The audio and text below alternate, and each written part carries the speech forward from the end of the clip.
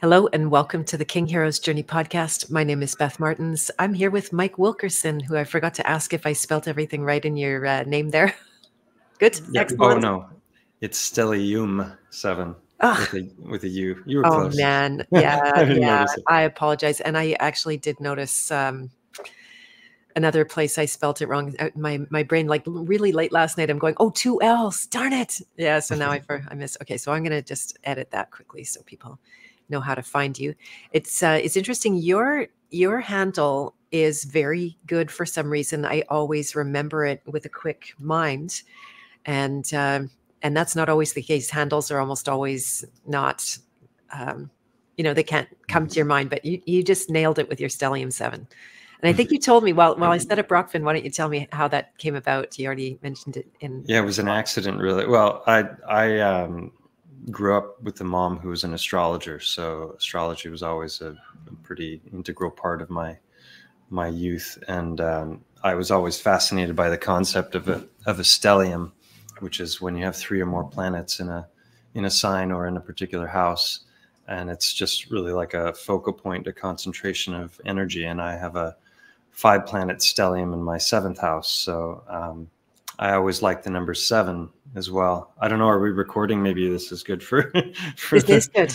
Oh, this, this is, is yeah, okay. Yeah, we're yeah. We're so on. we're live. Um, so that was my email address for many many years, and when I started a YouTube channel, I didn't know uh, what to call it, and I just thought, oh, I'll just call it Stellium Seven, and uh, I didn't I didn't ever think for a moment or anticipate that people would start to be calling me Stellium, which is it's kind of it's kind of fun. All of all of the my family members have SS as their as their initials, and mine are MW. So I'm like the oddball. And then a few months back, it occurred to me, wait a minute, I'm I'm also an SS now. right, exactly. Seven. There you yeah. go. Oh, that's really fun. Uh, looks like we have a problem with streaming to. Uh, Vigilante TV. Darn it. It worked last time, so I have no idea. We'll have to go back and just upload this to it later. We are live on Rokfin, and I have shared a link in the chat here if anybody would like to use that platform. And we're live on Rumble as well, so I can grab a link for that. Give me a second to make a probably um, rude noise here. They always come on. There it is. And I will grab this link. Always get my best numbers on Rumble these days, which is nice. That means people are going away from the mainstream platforms more so. That's good. All righty. Yeah, yeah, super good. And uh, hello to people on uh, Rokfin as well. Music Guru is there, a friend of yours, I think, Mike. Yeah, yeah, excellent. Hey, yeah, I, I recently downloaded his uh, the heck is it called? It's music for um, the the right hurts or something. True solfeggio. Yes, that's it. Thank you. Yeah. Thank you. True. Yeah. True solfeggio. Right. Yeah. True self. It's got solfeggio. number two coming out very soon. I got an early listen and it's amazing. So. Oh, fun. Okay, good. Well, I'll be on that one as well. That. Yeah, yeah, yeah. And we should plant a bug in uh, in uh, with Music Guru's conspiracy music, ugh, music gurus' ears about an event that's going to take place in the UK coming up in September. And with any luck, we'll have you there, Mike. Oh, that'd be super that good. That would be fun. Yeah, mm-hmm. it would be. I fun. like to meet people in real life. yes, I know. Just being behind a screen all the time. Right, right. I'm grateful for the screens, but when it can go next level and be flesh and bones, and that's why I was really glad to meet you in, in Acapulco. I know we didn't have a lot of deep talks, but I was around you when you were having deep talks, so that I remember. in uh, those uh, nice, often early morning, everybody's out with their coffee and rubbing their eyes from the night at Max's bar the, the night before, where I didn't go actually. The mornings What's are great. Dip, dip in the sea, a nice breakfast, you know, hanging out with awesome people around the breakfast table, and then off to the conference. It was it was perfect. it really was. It really was. Yeah, I loved your recap as well, Evan Acapulco. That helped me a lot because there's so much that you miss ah. when you're in those live settings. So many things happening at the same time, and people I didn't really get to know. So yeah, that was uh, that was great to get your get it through your eyes. And yeah, it was, uh, so it was it was awesome to to be able to be there and to meet so many people that I really admire and to to actually be able to hang out with them and, and get to know them and and uh, exchange ideas. It's really a special experience. It was one of the warmest groups I've ever been part of. I have been playing and speaking at festivals for a lot of years as a as a musician. That's more how I was doing it in the earlier years, and I was always struck at how incredibly, um, you know, what is the word? Just just not warm, not friendly, not kind.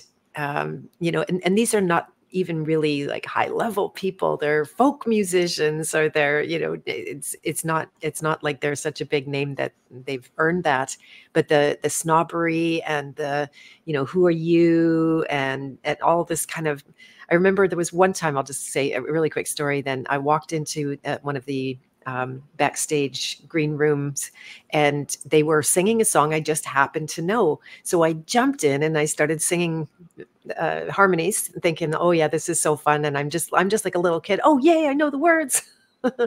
and you should have seen them glare at me and look at me like some problem. And oh, I'm just so grateful that this group was infinitely more open and humble and uh, you know great great speakers would come up to me and introduce themselves hey i like your podcast. And i'd say oh what's your name? And they're like oh topher gardner. I'm like oh i should have known that. So yeah the humility goes a long way. Yeah. A lot of humility a lot of just openness to ideas and i didn't know what to expect you know from an Anarchapulco, an anarchist conference. I wasn't sure what the vibe of the people were going to be. Are these like, you know, going to be like gun toting, you know, kind of people that hang out in the in the hills? Or it was uh, it was such a nice. It was a family environment. You know, children, and just peaceful and and really great. So yeah. I highly recommend it if anyone wants to go to a, an awesome event. That's a good one. Are you are you going to Music and Sky also? Are you? I am you... not. No, I'm oh, heading okay. to Texas pretty soon. I'm actually going to be doing a live interview with Alex Zek, who's hosting me. So um, yeah, I had to pick my pick my events, and I'm going to take mm. my son. and We're gonna. He likes to visit the open carry states, so that's uh, he's pretty excited to get some cowboy boots and eat brisket. And where's home for you? I don't even know where what part of the world you're in. Here in Manitoba, it's uh, Winnipeg, Manitoba in Canada. Okay. Yeah. Wow. Yeah. There you go. And you are in? I'm on the Costa Blanca in Spain. Nice. And how did you end up in Spain? Since we're just getting to know each other. Well, let's see. I started as an exchange student in Italy in 97 and uh, lived total three years there. And then from there, I, I moved to Sweden and I lived in Sweden for, for 10 years. And then moved down here 12 years ago. So it's been I spent almost as much time in Europe as I as I did in the states. And uh, fantastic. Uh, yeah, and I did my chiropractic training in Sweden when I was when I was up there, and that was a five year training. So that's what I do here in Spain. I'm a, I'm practicing as a chiropractor, and uh, all of the other stuff is just kind of on the side hobbies, interests, and things that I dive into out of just pure interest or passion.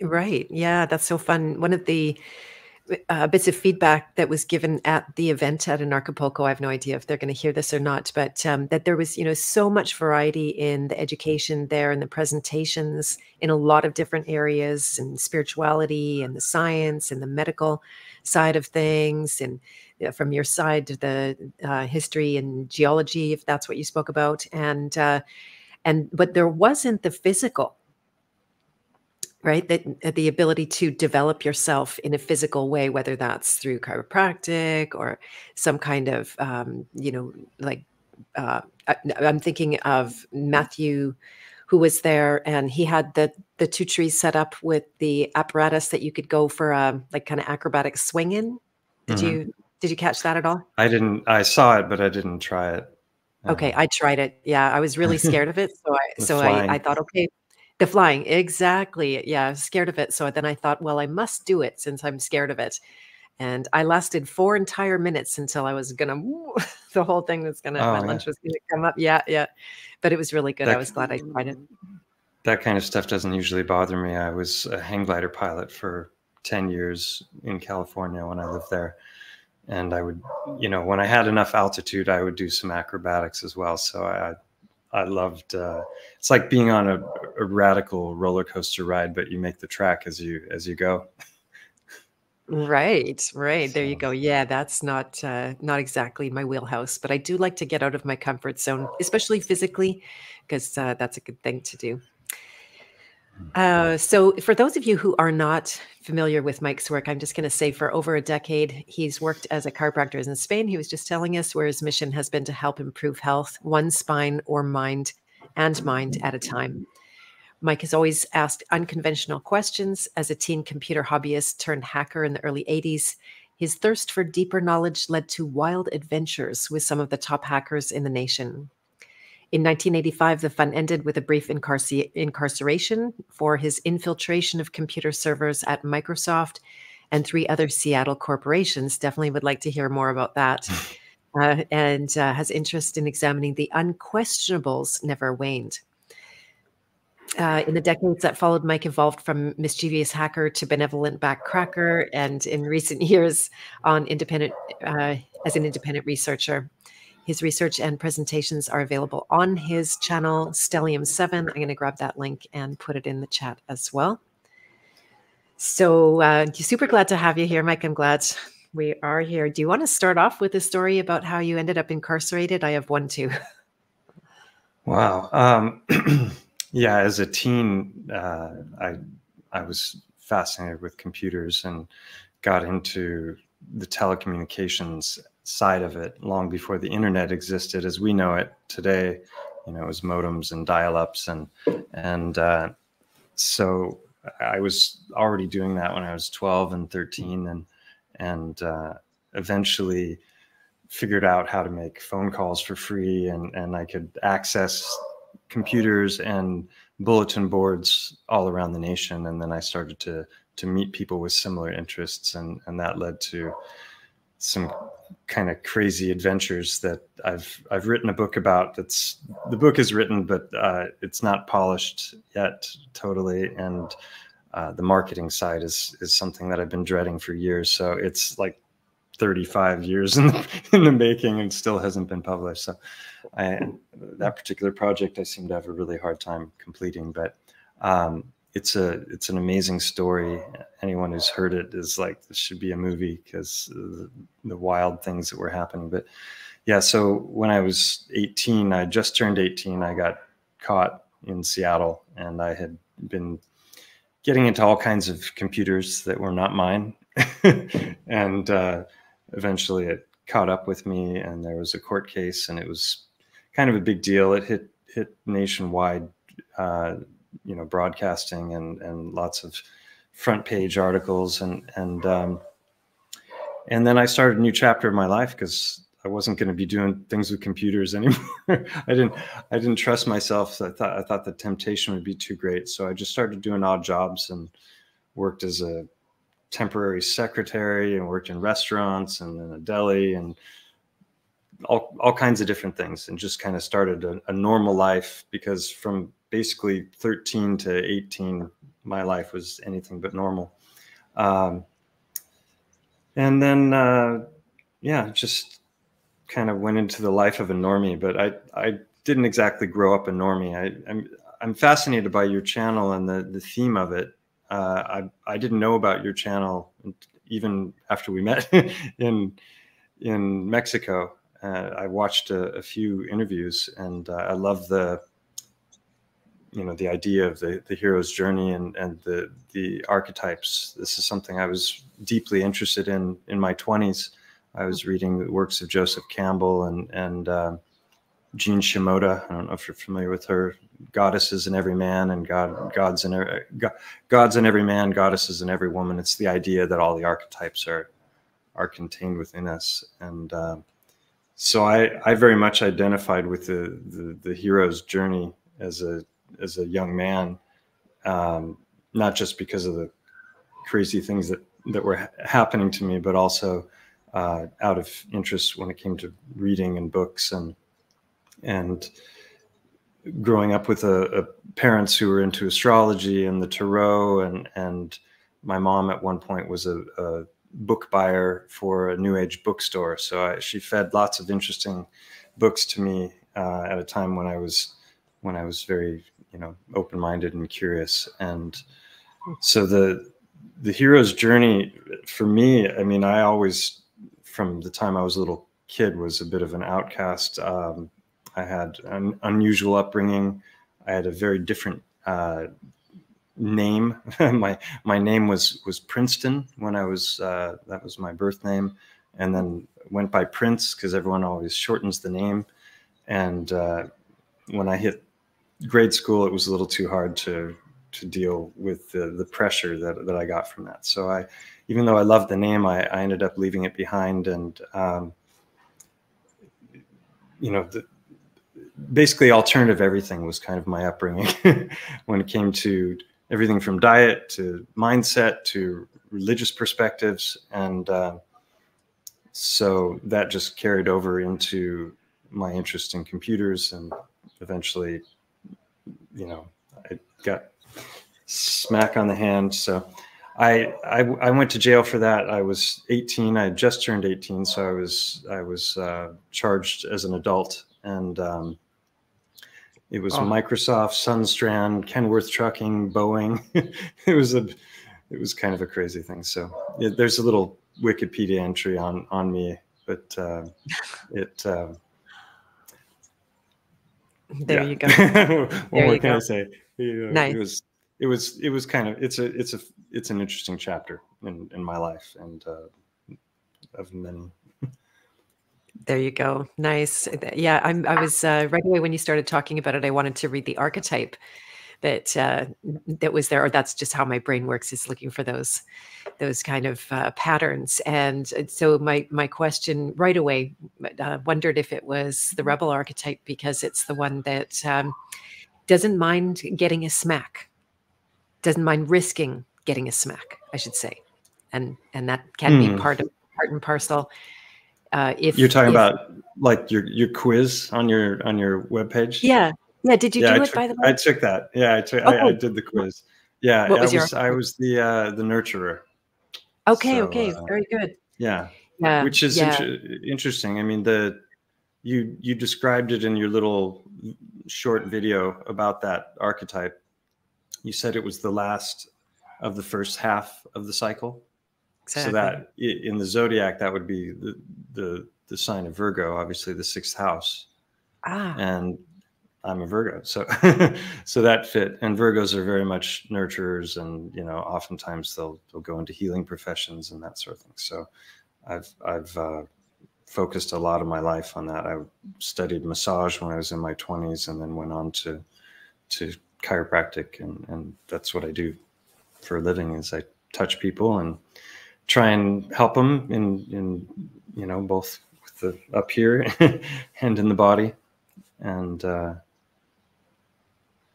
so it felt appropriate the, the nurture. Fantastic. But, uh, that, that, that's so cool that you did it. Yeah go ahead. I don't know what the other seven are because you said it was your own your own take on on the archetypes. And uh, yeah, the archetypes came through me at a very poignant uh, moment of loss when my father died. And uh, it was a couple of years later after my mom died, they both kind of went as a pair, that I started looking and seeing are these archetypes, in fact, the hero's journey and not just a soup of archetypes like I had been experiencing them. They were all there in varying degrees. I'd already done some work on it. And then when I conceived of the possibility through, um, what's her name? I don't know if I can see the book. Um, I'll have to get that out of my memory, but uh, she wrote a book on the archetypes of the hero's journey as well. And uh, so after I read that, I'm like, I wonder if my archetypes are a journey. And within five minutes, I could see how they exactly lined up perfectly as a sequence that was meaningful in in a particular order. And then I found mm-hmm. myself on the journey, and I made one of the biggest steps I'd ever made in my life or one one of the big steps I've made in my life and I was able to make huge changes just by finding myself on that journey. So that's what gave me the clue that this was very important not just just to know who you are but where you are, what's behind you, what's in front of you. And uh, yeah, the nurture is is one that's really super close to my heart. And as a matter of fact, I've just created a training on the nurturer specifically. So see if you could relate to this. That uh, there's a phenomena I call the nurturer's pendulum swing, and it's where you go from helping. right away, you can see it. Yeah, yeah, yeah. I know where this is going. yeah, yeah. Helping uh, everyone, crashing, burning, helping no one, telling everyone to get away, recovering helping everyone, crashing, Fit, burning. Fits, fits and starts, as they exactly, say. Like, yeah. Exactly. Yeah, yeah. And it can really, it's very strange for the nurturer because the will is to serve and help. But because it can be, you know, from a shadow place, it injures you, then you just, you develop a very strong aversion to it even so much so as disowning it. That's where I was at when I found my nurture archetype. It was disowned. I didn't even see mm. that about myself. I didn't. I, I had n- no persona whatsoever around being a helping spirit. But um, but there it is in Technicolor, and now uh, many years later, it's. Uh, a lot of those nuances have come clear. So you might want to join that training to get some some tips. It it goes beyond the it. surface. Yeah, yeah, mm. yeah. It's a free one. There's going to be a course after. I will share a link. I'll grab uh, for people that would like to join. They uh, I just opened it up yesterday. It's going to take place May 15. All right, so that's enough about that. We were going to talk today about history, about a word you coined called geobiology, which I really like, and biogeology. Pardon me, I got, I got backwards. Biogeology. There you go. There you go. Works both ways. Creative license yeah. here. Yeah, yeah, yeah, exactly and um, and yeah, the alternative hidden histories that, of course, we haven't been seen: gigantism, catastrophism. I really enjoyed the video about petrification. That is so different than anything we've been told. Hmm. And mm. yeah, I, I would like to know the implications of that. Where would you like to start with all of that? Well, it, it, the whole thing started for me about what eight or nine years ago. I met uh, you mentioned Alex before, um, I'd already from my 20s been interested in the whole conspiracy landscape and uh, my my father gave me a couple books behold the pale horse and another one called uh, the emperor wears no clothes. And and that opened my eyes to a lot of the, the, different power structures that existed in the world and the interlocking societies both secret and open and um, and how you know the educational systems were were hijacked and and the medical system. And and so for me um, I've always kind of had an open mind to a lot of that stuff. And I went through different phases where I would you know feel higher or lower degrees of paranoia and like maybe it's time to head for the hills and you know collect weapons or something like that. But it wasn't my my interest or my style. So I never I never you know did that. I decided I'm just going to, you know, go on and live my life and do my best to try and help help others and leave the world a little better place than it would have been if if I wasn't in it. And um, that was that was kind of my motivation. I figured, you know, a lot of that stuff is on on a level that it's difficult to affect any kind of change other than you know in your own your own sphere. So um, that kind of thinking wasn't wasn't new to me. But when I met Alex, uh, I had already been digging into a lot of different subjects that that were kind of unraveling the tapestry that was my that was my upbringing and and my worldview, and um, you know, looking into the music industry and Hollywood and how how uh, compromised they were and the, the, the deep cultic influences uh, in in those those industries. And and um, as I as I was going through that, that's when I met Alex, and we started checking off the boxes. Oh, 9/11, and you know, you name it. And this is obviously before uh, the uh, pandemic came into into our experience, and uh, so he started asking me at one point if I'd ever looked into the the flat Earth thing, and and I, my first reaction was, oh no, he didn't he didn't just go there.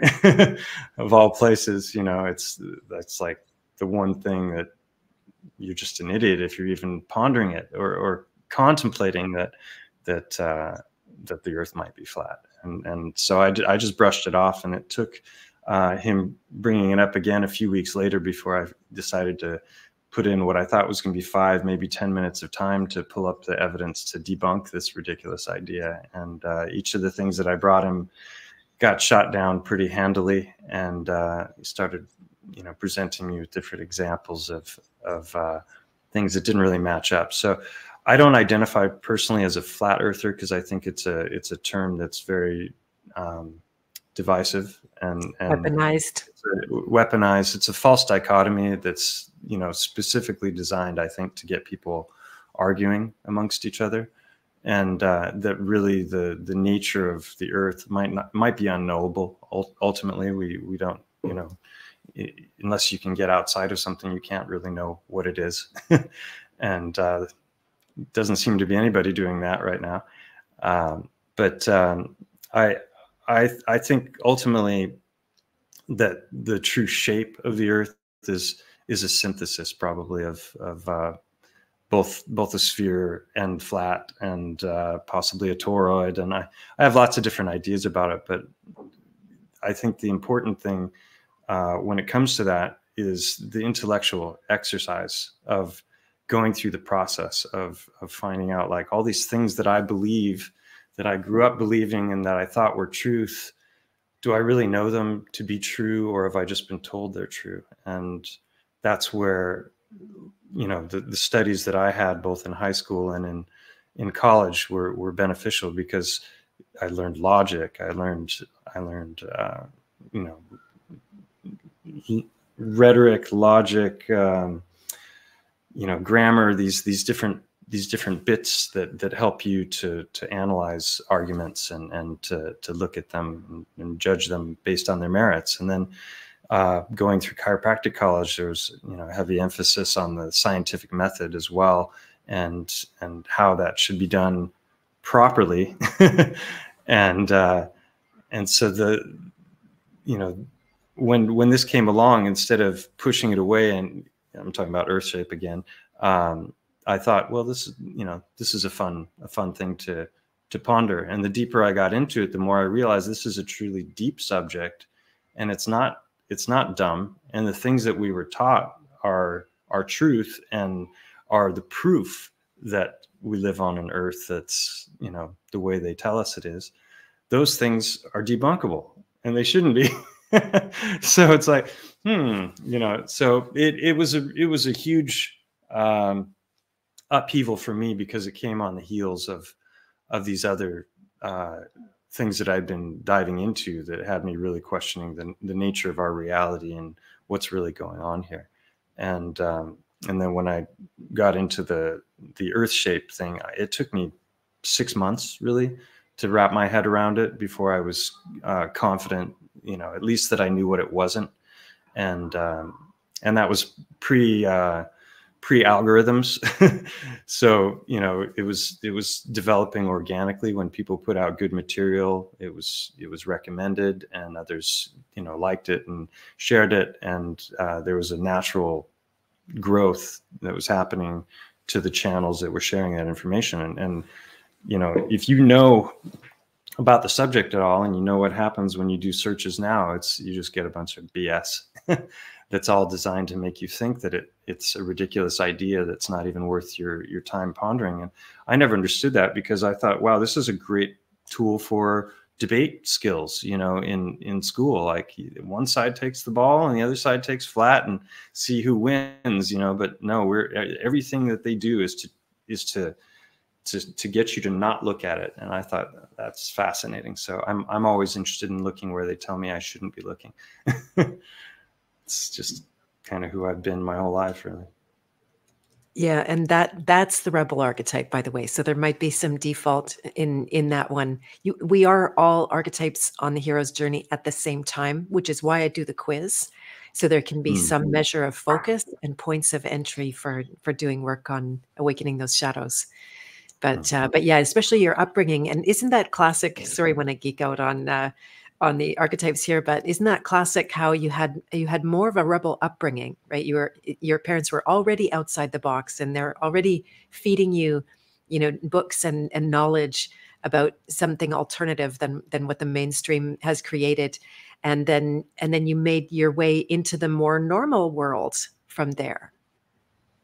Yeah, and doing right doing Definitely. things that were right right, right yeah, yeah. I, and and as far as the archetypes go i mean the one that i that i identified most with growing up was was the trickster was Mer- mercury hermes um, and you know the the different gifts that he brought and gave to humanity were, were things that i identified with closely and um, I was I was fascinated by the the tarot as well because this this idea of the fool's journey that not the first card but the zero card is the fool and the fool is stepping off the cliff uh, you know looking off at the sunset and not really paying attention to where he's going and boom the adventure begins you know because he's he goes over the cliff and um, I uh, when I when I made the decision to move to to Europe it was you know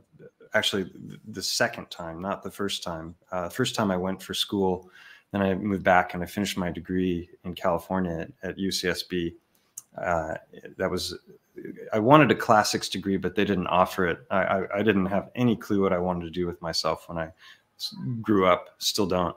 Um, but uh, i i knew that i wanted to study a lot of different subjects to just get a feel for what what was out there and um, so I started as a philosophy major. They didn't have classics, so so when I went to Italy, I, I switched my major to Italian, and that allowed me to just take whatever I wanted to while I was there. So when I when I moved back to the states after that, I decided I was going to go back to to Italy after I graduated and sold my my car, my van, my hang glider, my motorcycle. You know, I just like all all my toys and uh, and bought a one way ticket to, to Italy. I figured I would teach English when I got there. And, and um, when I did that, uh, when I made the decision to do that, I was sitting high up on the mountains that I would usually jump off of in Santa Barbara and fly. And I was thinking about this, this idea of, of flying and how it's really a metaphor for the, the hero's journey, every single flight, because you, you know, you, you prepare, you have to train, you don't just like grab a hang glider and and jump. You know, it's a good way to die. Um, you know, and you've got to be, you know, very familiar with your gear and set the thing up and and then you get up to launch and you need to know the conditions and the micrometeorology of it and and then have that that courage and faith in your equipment that you're gonna you're gonna jump and and fly and not die you know and so so i thought well that's kind of a metaphor for for life and a metaphor for this this um, thing that I was about to do, which was to move back to Europe, and I and I didn't know where I was going to go at that point. I was I, I just turned thirty, and um, so I wrote a poem. Uh, I don't know if I, I it's a short one. I, I see if I can oh, remember yeah, it uh, properly. Yes, so so it goes. Um, it's called the void, and it goes like this. If I can remember it, it says, uh, "I have come to the edge at last, with." Thoughts racing and heart beating wildly. Just a few steps. I don't know. This this is it, I tell myself. This is where I discover who I truly am. Just a few steps, and then I'll know. Am I meant to fly or to die like so many broken heroes dashed upon the rocks of the great abyss below? And there, in that eternal instant, I look down only to see that the choice has already been made. The hero has just taken his first steps forward. Wow. Oh my gosh. How much synchronicity is this right now? Which is a big part of your uh, fascination as well. That's um, what a beautiful poem. Got shivers all over in oh, the resonance of it. Yeah. Yeah. Very yeah, nice. it was it was um, you know, it's a, it's a lot to leave, and you never know, you know, where where it's going to go. I never, I never move back. so right. sometimes sometimes you make choices that that uh, change the whole course of your life, and, and that definitely happened with me. Yeah, and what a great metaphor of of just stepping and knowing because that, they don't call it risk for nothing. I was just talking with somebody about that this morning that uh, you literally don't know. Things could fail, whether it's your equipment or your judgment or uh, the the what you know elements change suddenly. All of that is possible, and that's what stops pe- most people from actually taking the risk of going on their hero's journey and putting themselves out there and doing something that they're called to do which is not everybody's called to you know jump out of airplanes and that kind of thing but uh, there's a, it is a good metaphor for how we feel when we face those kind of risks hmm. yeah yeah so that's really yeah, fun I like so that. yeah so back to your original question um, mm-hmm. so meeting meeting alex got me you know looking at the world through new eyes and really examining things that I had taken for granted as as as true and and long ago proven.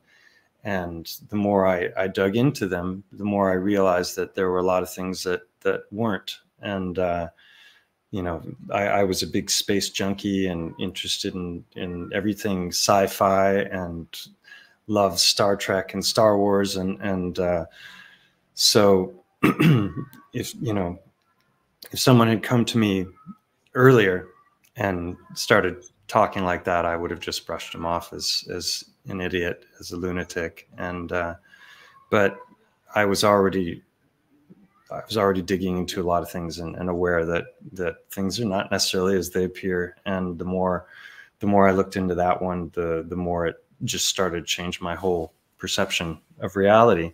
And that got me looking differently at lots of ologies, not just cosmology or you know astronomy and these kinds of things, but but also geology because I realized that well, you know, when you start looking at the Big Bang and then gravity and uh, you know light years and all, all these all these things that that at least I grew up taking for granted were real.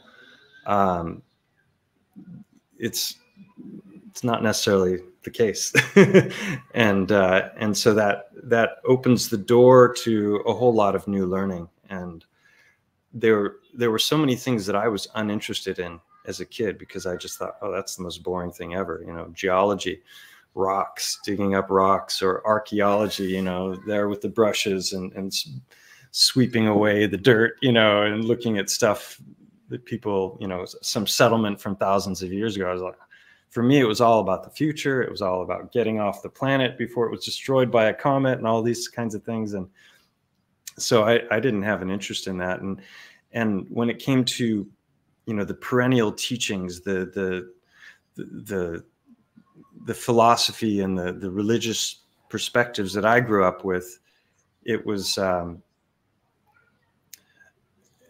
it was something that always gelled with what I was studying as far as like quantum physics. And I, I, always felt like every every time I got deeper and deeper into the science thing, it was looping back around on on the ancient teachings. And I always I, I grew up believing that there was a thread that went through them all, and that none of them was completely right. And uh, and so the you know I, I was a selective sifter, and I would take what I wanted from one one thing and and from another and uh, ultimately, um, I I didn't know the word syncretism, but I was just a natural syncretist, and I, and I have a I have a lot I have a very intuitive side as well. I'm extremely logical, left brain, Virgo, typical Virgo kind of person, but I also have moon in Pisces, so I'm a very emotional person as well, and I have a lot of a lot of, a lot of intuition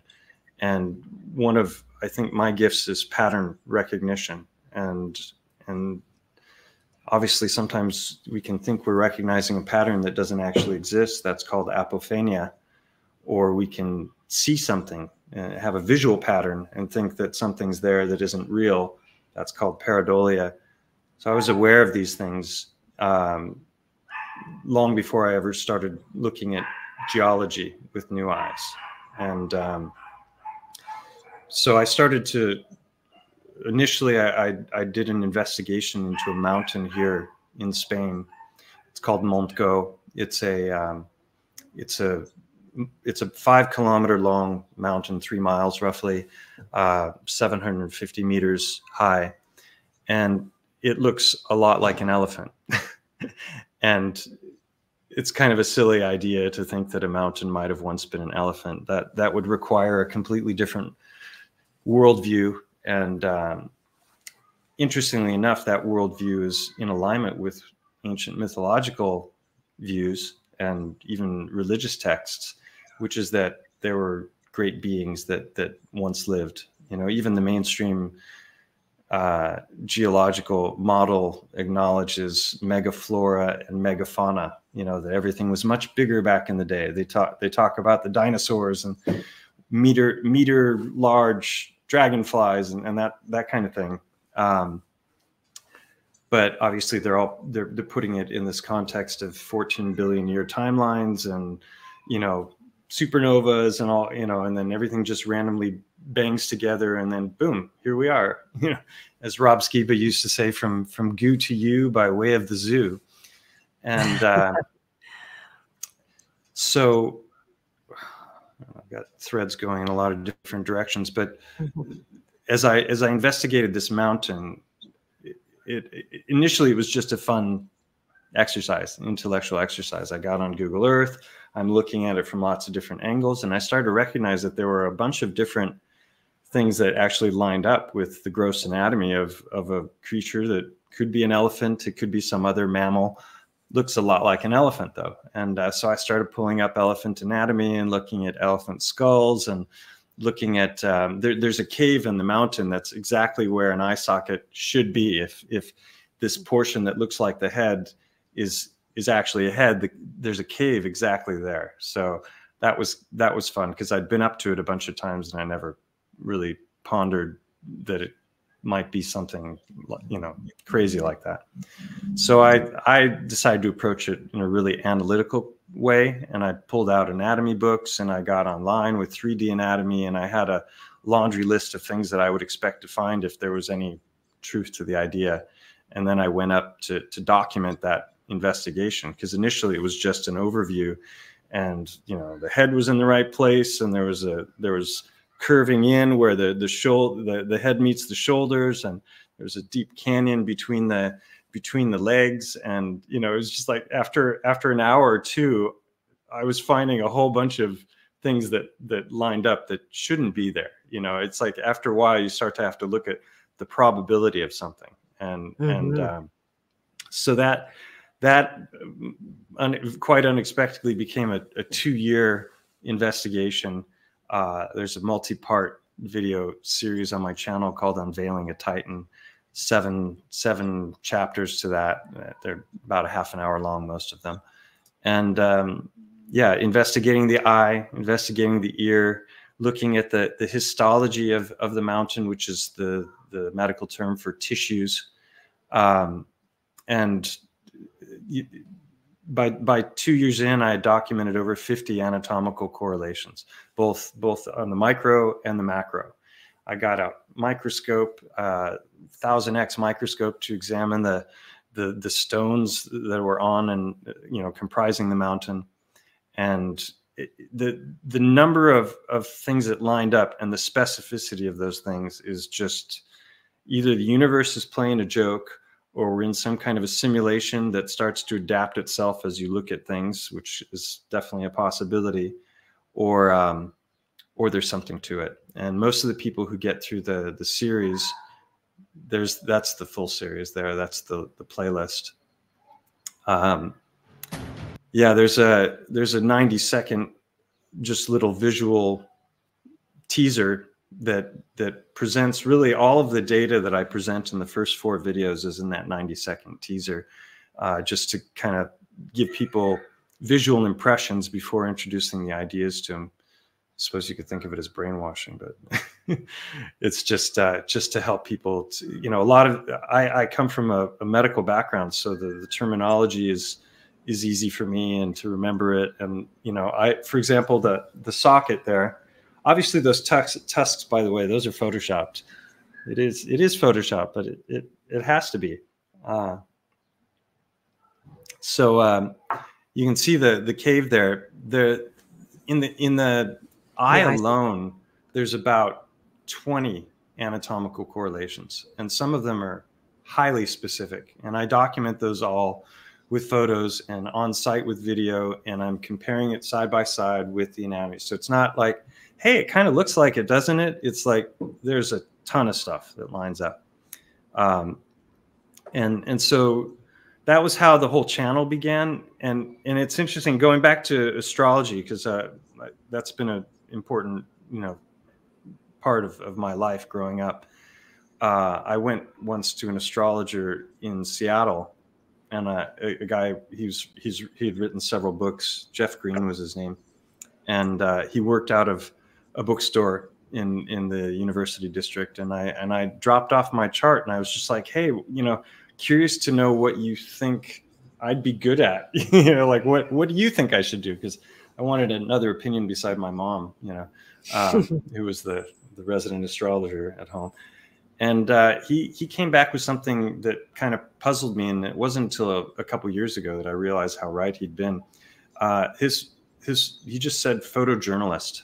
It's like you should be a photojournalist, and I'm not much of a journalist uh, as far as writing and writing articles and that sort of thing. But the channel has really been documenting my adventure as I've pondered these different ideas that many would consider harebrained, and um, I've done that, you know, documented that both in sharing my thinking around around the idea and my approach to it, but also with you know photography and and video and and uh, so that's you know the channel is a real mishmash of a lot of different things. There's some stuff about the hacking on there. There's the there's the titanology. I, I coined the term titanology just just tongue in cheek, right? Like somebody asked me like, "What are you?" You know, because they're trying to figure out what my background was, and I and I jokingly said I'm a, I'm a titanologist, and uh, later I coined the term biogeology. And the reason I, I well, the term was already being used, but I appropriated it. It has to do with an exchange between the lithosphere and the the ecosphere down here, and, and you know exchange of materials. And I thought this is a much better way to to really distinguish between um, what we're told about geology, how old things are, how they form, you know, what what the underlying processes are versus alternative views and and the evidence that may or may not be there for those alternative views. And uh, a lot of that has to do with petrification, especially rapid petrification, because you know we know that that organic things can petrify. We have petrified forests. There are creatures that can be found completely petrified. Um, but those are the timelines we're given are millions, if not hundreds of millions of years. And these are timelines that nobody can witness them. No one, no one can. They can theorize about them, and then they can they can make claims about dating, or they can infer uh, and and draw conclusions based on chemistry. But ultimately, you know, they're it's you know they, they're they're making it's a lot dodgy. of claims that are not substantiated. it's dodgy. Yeah, yeah. I had a professor in, in anthropology, which uh, archaeology was part of, and uh, it was on epistemology. How do you know what you know? Let's question how you mm. know what you know, and that was the the thread started unraveling for me, and realizing. And of course, every time they make a claim about a date of, of the age of something, it's got a, a, a astronomical plus or minus on it right mm. so when you when you consider even the range and and then you know it, in short do you think the the history that well the history is different but the geology is a lot shorter than we've been led to believe and and why would that be yeah i i think it's much much shorter i mean i'm you know there are young earth creationists christians that that believe the earth is five or six thousand years old i don't know how they arrive at those numbers I don't I don't have a clue, and I'm not asserting any particular age to things. I just think in general things happen uh, over a much shorter period of time than we've been given as far as the mainstream model goes. Um, and certain things like like when it comes to petrification there's a whole variety of different ways in which things can petrify. This is what i was one of the things that i talked about in in mexico. Uh, my my talk focused primarily on the evidence for the great trees. You know think think avatar sized trees trees that were a mile wide or, or larger at the base and stretched up who knows how far. Um, you know, is there is there actual empirical evidence that that that such a thing once existed? Can we see the signs of that? And um, you know, how could that have possibly come about? And a lot of a lot of that is theory, you know, and catastrophism. You know, you look into these different different uh, the mythological and historical perspectives surrounding, you know, the the rise and fall of of empires or civilization, you know, because they're even the mainstream geological model talks about five different great dyings off, where, you know, the there's the comet strike or the asteroid strike that supposedly wiped out the the dinosaurs 65 million years ago. That's just one of five different ones that they've identified. You know, there's the one that took out all the trilobites, and you know, so they've got these names, and they've got you know they they they give us dates based on their their their chemistry and their spectroscopy and then they have the the sedimentary layering and then they claim the age of things based on which layer they're found in. Um, but you also encounter circular reasoning where they're claiming the age of the layer based on which fossils they're finding in the layer. So uh, there's there's a lot of a lot of different things that are now peddled as fact that were hotly debated and then eventually no this is this is what we're going with and I don't know what your background is if you've if you've studied formally, but if you get into the whole the scientific method and peer review and you know the the gold standard which is the double blind randomized controlled trial or, or the meta study um, you know what you're looking at ultimately is peer review. So you if you have a, an idea that's incredibly um, destabilizing for a particular paradigm and your the peers that are going to be reviewing your idea have a vested interest in not having their paradigm crushed chances are you're not going to get published right? Like if you know 20 years ago if you tried to go and and say einstein was wrong or gravity doesn't exist the way we were taught good luck. Even today you're not going to have a whole lot of luck, uh, you know, getting getting those ideas through. Um, so it, has been interesting as a chiropractor. The the whole profession has been under attack for a century uh, from the the American Medical Association, and and uh, you know there's there's a landmark law lawsuit that that was brought against the AMA, which the AMA lost. for uh, antitrust violations because they've been trying to eliminate my profession for decades and they were jailing chiropractors for practicing medicine without a license and you know all, all sorts of things that um, are just part of the, the historical record now but most people are unaware of them and they don't realize how those events have shaped the world and our perception of things like health and uh, what it means to be healthy and how health is achieved that all we have a we have a paradigm that's not based on on uh, reality at all, in my opinion, when it comes to health. So it, it's just an example of of the ways in which the the peer review process or academia in general can be used for narrative control and and not much more. Mm-hmm, mm-hmm. Exactly. Yeah. When there's a, a, group of people that are, like you say, are invested that it would be you know over their lifetime their credibility resources that they've pumped towards that resources they depend on. When if that paradigm was to fall through then they couldn't continue what they're doing.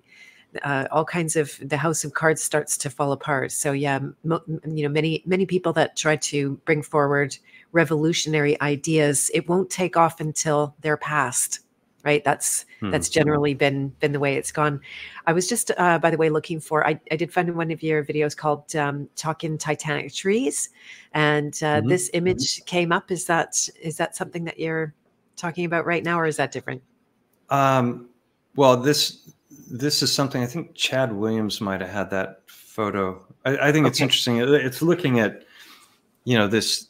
It, you've got volcanoes. I mean, one of my theories is that volcanoes, maybe not all of them, but many of them are um, are the remains of, of trees. And you know, we have lava tubes and and these these snaking you know network of of uh, tube structures that transport lava.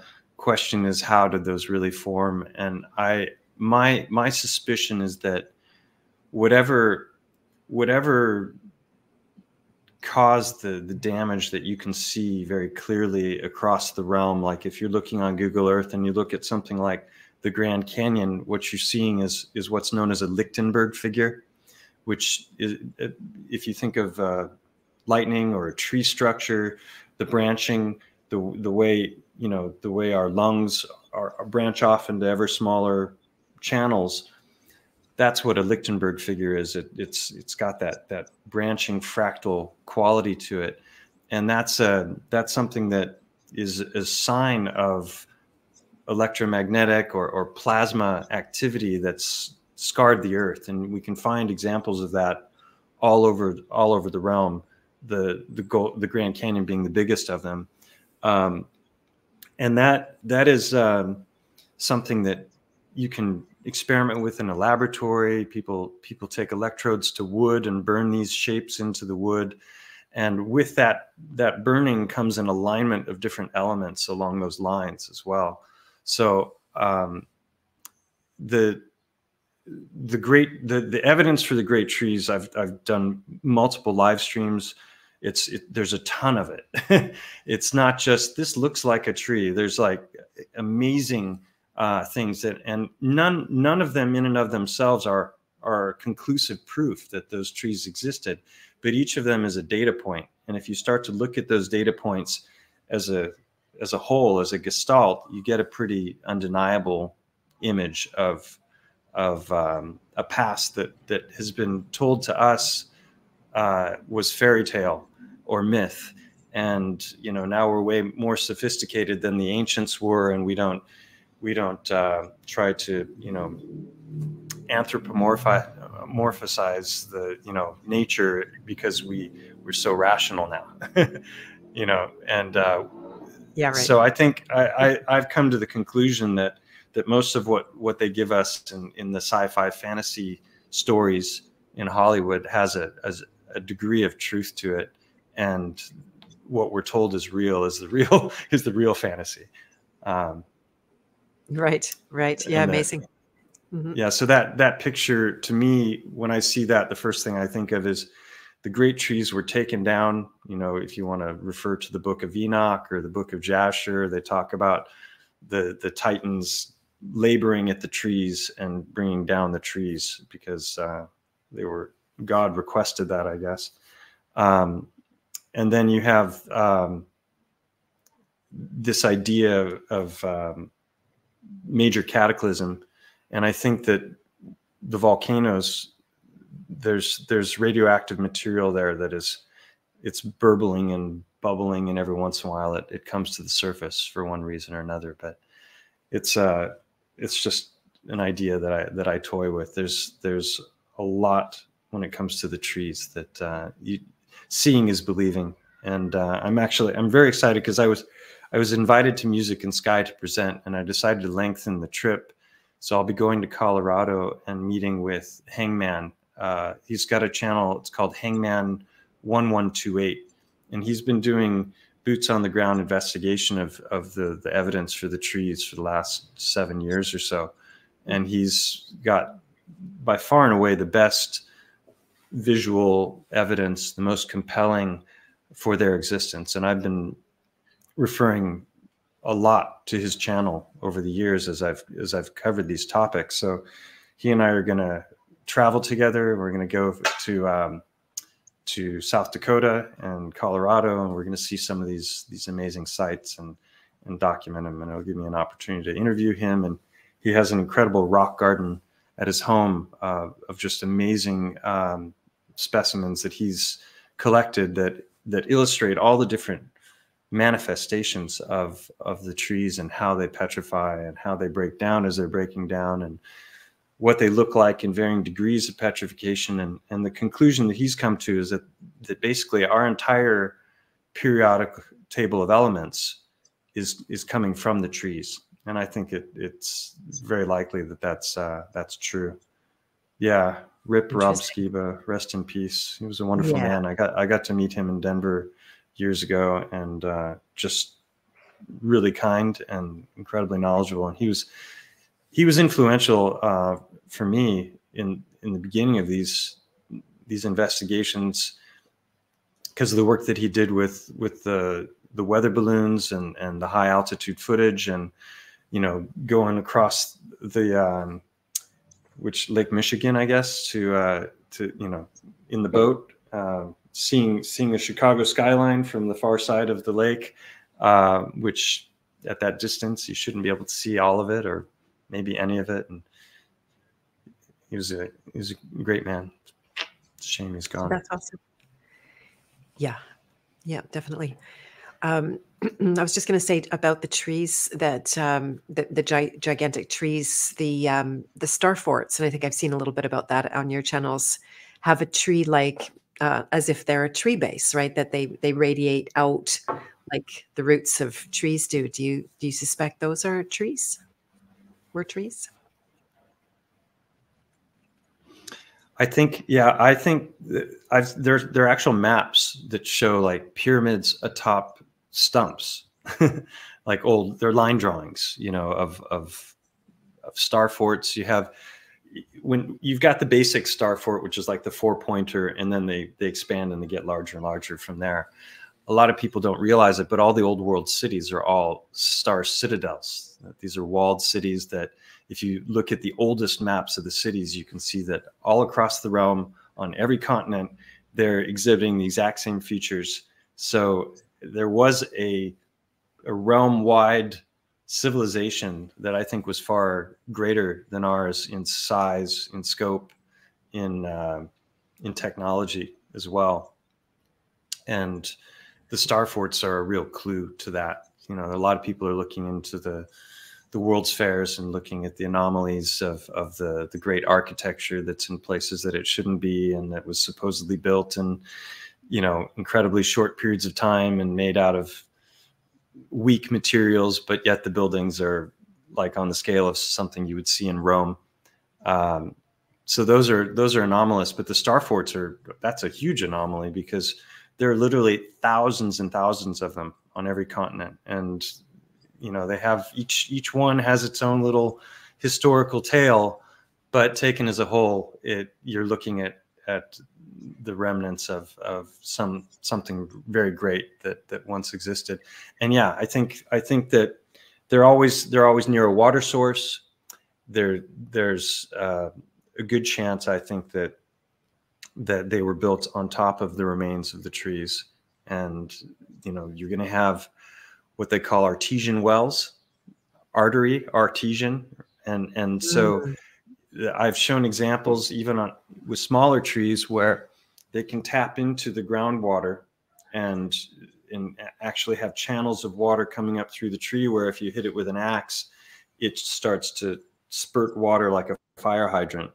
Uh, wow. Got video clips of that. Uh, you know, sometimes it'll come out of the knot of a tree. So the water is working its way up through the tree, and then it's just like an, in a permanent waterfall coming from within the tree.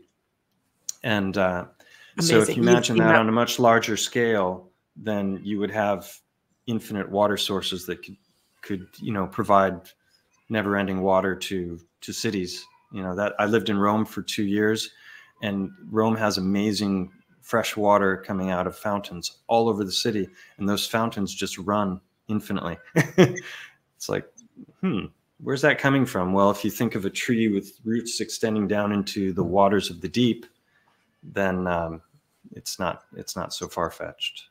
Right, right. Fascinating. Yeah, that's uh, they they don't want us to know about how much good water it, there is, and it's not even that there is; it's that's they're being made. What's what's your take on that as as a as a more of a realmer? if we leave that uh, FE phrase out of it, but what what would mm. be your take on where all of that fresh potable water is coming from? Is it still because the, I think the waters of the deep are a very real thing.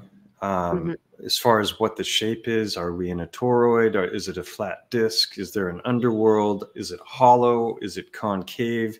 There are all these different theories out there and i think they're all fun to ponder and it's interesting to look at the the evidence. I'm not married to any of them. I'm definitely a tried and true globe skeptic. I've seen no evidence of, of the globe as we were told. Um, but, um, right, but just just about the water, say the conventional yeah. explanation is, or the the unconventional uh, conventional explanation is that's the mantle of the earth being a fire, and it creates gases, and gases one of the products of gas uh, emissions are is going to be the um, creation of water, and that's and that's how you end up with like fresh new water being being created at all times. So is is would that be the be the truth in in a, a realm model as well? I I don't know.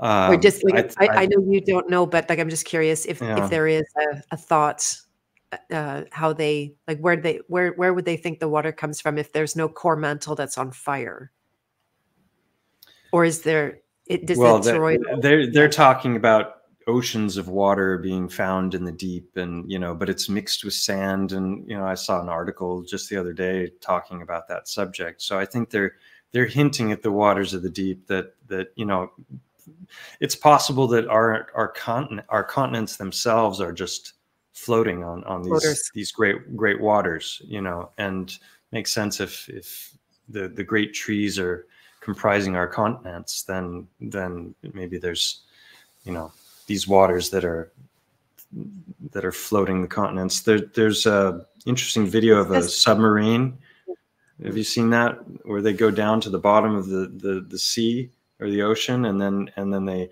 they see a, a lake at the bottom of the ocean, and they try and descend into this lake, but the the mineral content is it's so it's so thick that they basically the submarine just like bounces off of it and then ripples go out to the to the edge just like you you know we would see at the shoreline here.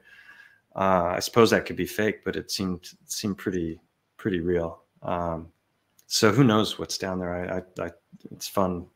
There's so many. There's this place is so mysterious. Like when you first go through this process of like, oh, okay, maybe space is fake and they're lying about this, and it's all Hollywood fantasy.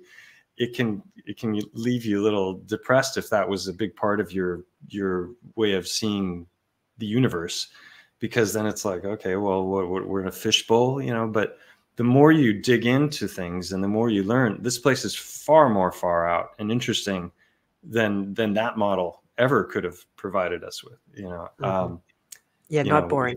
I, I've I've learned more in the last five years and encountered incredible teachers that I wish I had known known of when I was in my twenties because I I spent so much time studying stuff that I now consider to be you know falsehoods and uh, you know I, I just in the last two years, I came across the work of Walter Russell as an example, um, and you know Rudolf Steiner and these these uh, these great thinkers that that wrote hundreds of books.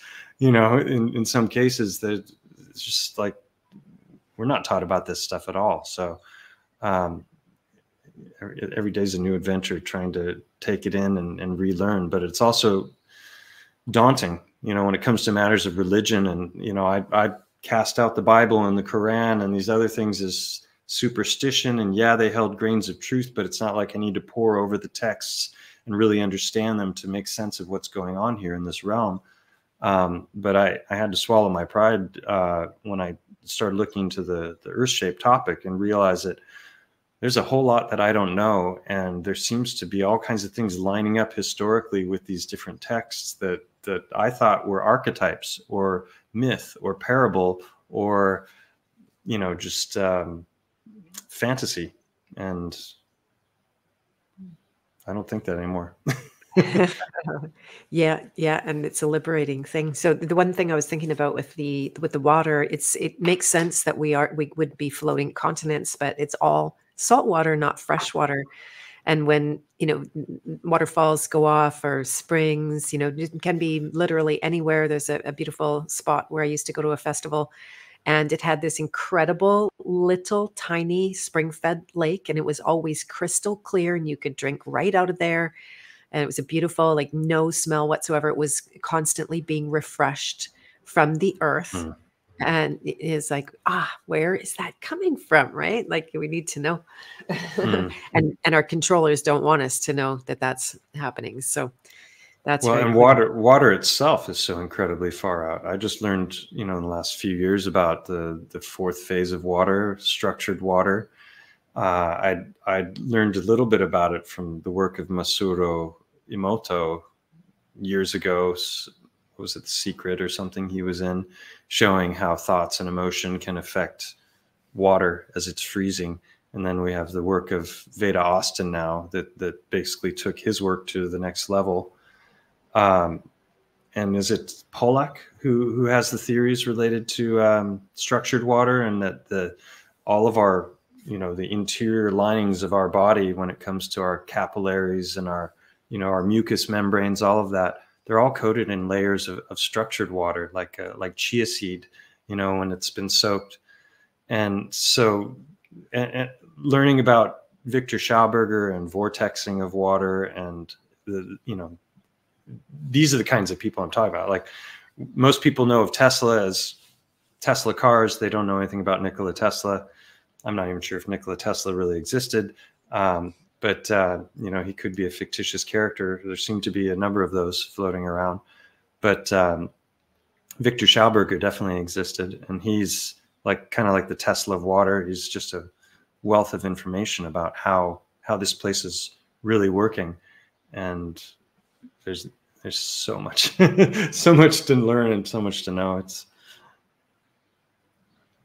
indeed there is. And uh, so how has it changed you internally? How has it how's it changed the way that you're i know i think you've talked about some of it already but i'm just curious about the transformation that's occurred uh, maybe even at a spiritual level. How has it changed your relationship with life itself or the uh, nature of a God. I know I've, a, a, friend, Mark Archer. Now he corrects me every time I say the word God, and and is trying to get me to say life, which I fully agree with. Actually, I'm just uh, aware that he doesn't like the word God, so I keep using it as mm. a brat.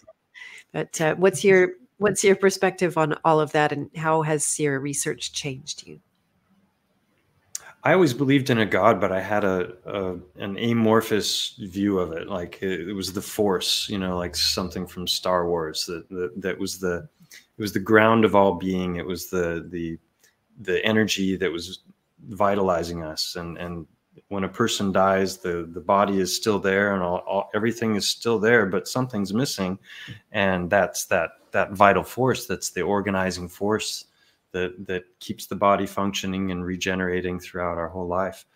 Um, I have a different perspective now. I, I, I believe that there's a conscious creator God that has created this realm and and everything in it.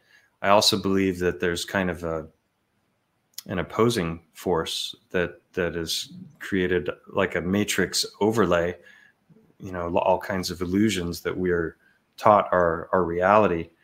Um,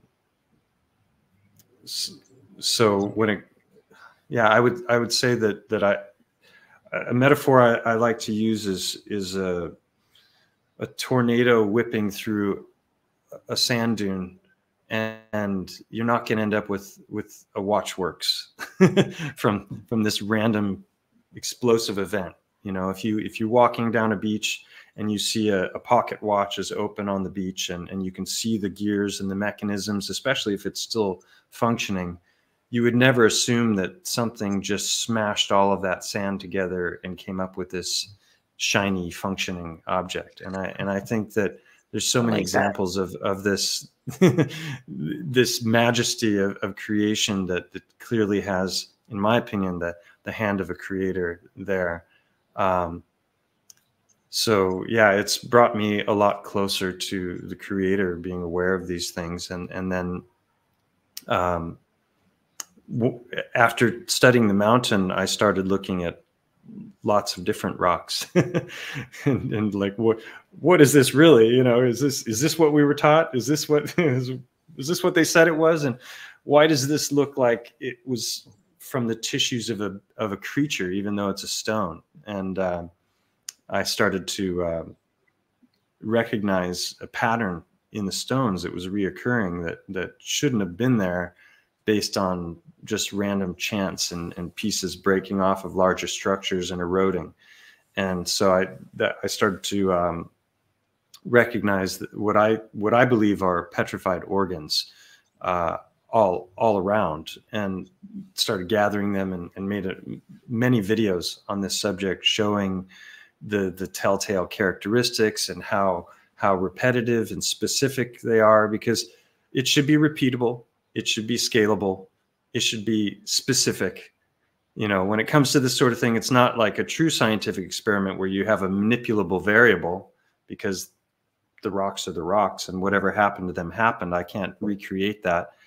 Um, somebody might eventually be able to petrify a heart in a laboratory and turn it to stone there were people in the 1800s that knew how to do that, and their secrets died with them. A guy named Girolamo Segato and another one named uh, uh, Bruni is the last name.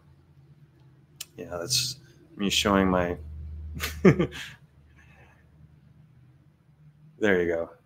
Yeah, so that's a that's a very very specific pattern which I've which I've shared with people over and over that that I could be wrong, but it, it matches the anatomy of a heart to a T, the, the blood vessel openings, the, the lines where the different folds of the heart meet together. When the heart contracts, there's a there's a twisting vortexual contraction to the to the muscle fibers, and a lot of these stones that I that I gathered, when you look at them from the bottom, it has that that twist like a propeller, um, and so that that became a massive rabbit hole in and of itself which led to me learning things about the heart that I never knew and I was never taught in school. There's a cardiologist named Francisco Torrent Guasp, who was the discoverer of what's known as the myocardial ventricular band.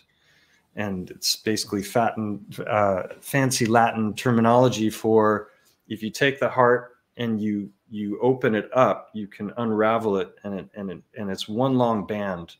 And this is a this was something that I was never shown or taught in school. That was a total mind blow when I learned it because it changes everything we understand about not just the structure of the heart, but the function of the heart, and that the heart is actually um, it's it's two vortexes that are going opposite directions and as the heart the band contracts it's it's actually functioning based on on suction and vortex not by a contraction and pushing the blood out to the blood vessels. And i didn't know anything about his theories. I didn't know that he had actually proven his theories. Proof is a that's a word you should use very cautiously. You know uh, what is it? Outlandish claims require outlandish evidence. And this this man dissected hearts for decades, thousands of hearts. He worked. He had a family practice. He was a cardiologist, and he didn't he didn't buy the the prevailing story about the circulatory system and how our hearts function. And so he kept investigating that on his own for years and years. And eventually he discovered that that if you if you boil the heart and you carefully remove the fatty outer layer, that you could you could um, you could just basically bluntly using using your thumbs to dissect it you could open this thing up. And when i saw that it was just like this is amazing because i'd already been looking at the the realm itself and and like what is this place? What what is the true shape? And the the the shape that i always come back to is the the shape of the toroid because it's in all magnets. Everything is growing with these these spirals. All of our plants, the the conch shells, the you know, it's it's just it, it, repeats itself all throughout nature. It's like the master shape, and uh, so I realized, well, it makes perfect sense that the the heart would would also follow the same pattern, and uh, so this man proved it, and uh, he was definitely a um, a rebel who uh, was was chastised and you know mocked by his colleagues for decades. And and towards the end of his life it, you know it, it started to to take on some momentum and you know he never won the nobel prize which he should have. And ironically i, I know cardiologists now and this stuff is still not being taught in in in the cur- in the curriculum for for cardiology programs which is insane. You've got people that are actually doing surgery on the heart and they're cutting into hearts to change them and they yeah. don't even understand the the true structure of the heart. So that's what i was um, just thinking. Don't put your yourself in the hands of a heart surgeon. They, they have not unless yeah. not unless they know that it's a helical heart and that it that it's that it's a, basically a dual you know vortex. And and so this is amazing. It's like and our red blood cells you know they they, they tell us that that they're shaped like like a toroid and they're moving through these these structured waters. I think I, I, think that what's happening is the blood is being electromagnetically propelled instead of way. pumped. It's not being pumped it's, it's right. pulled through the system uh, as a result of you know electrical potentials. I, I it's it's out of my realm of expertise but um, that was that was so incredible for me to to learn. And it just you know it's like wow we've got this perpetual motion device right here. Actually it's been mandela affected. It's no longer here. It's over here now. It's still tilted. But you know we used to put our hearts our hands on our heart you know for the pledge of allegiance. And uh, my country tis of thee. And it's not there anymore. You're Kidneys right. changed well, position too. okay, okay. One of our one of our guests, one of our guests here, Michelle, would be very happy to hear you talk about that. For the most part, I uh, I've turned away from that.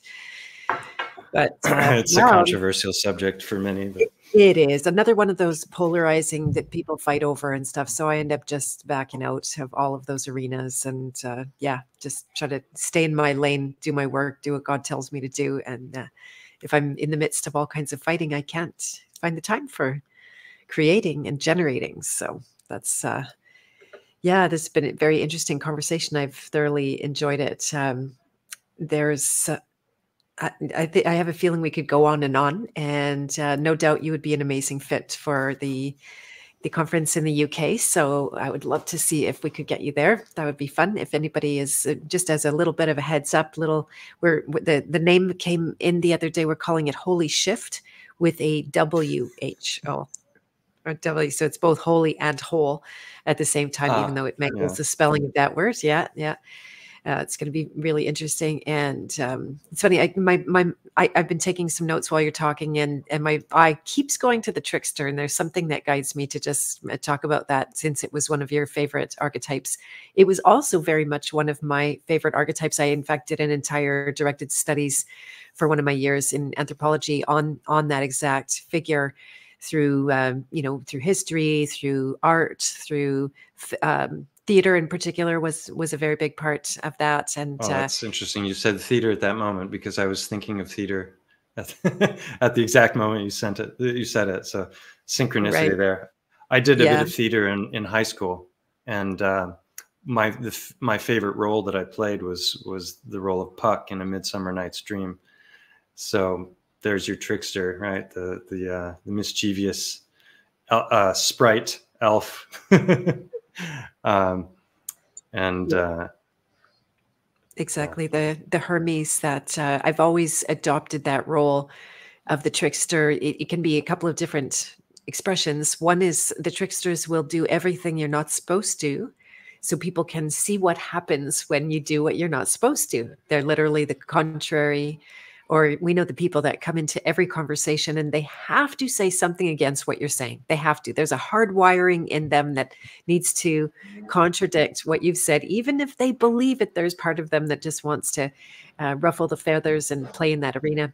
And in my system, I, I include the trickster energy, even though I know it absolutely, uh, you know, deserves one of its own. But just for the sake of simplicity, I included it in my alchemist, because the alchemist turns once enough healing has taken place, and you can begin to use that trickster in a more purposeful way rather than a, um, you know, the way that the a rebel ruffles feathers for no good reason at all, just because they want to get a rise out of people or they want some bad attention, then you become more of a master in in the trickster arena, and you can teach through that trickster energy and have people learn from you in a um, more than an intellectual way, let's say. Hmm. So anyway, I just felt like I wanted to say that. Yeah.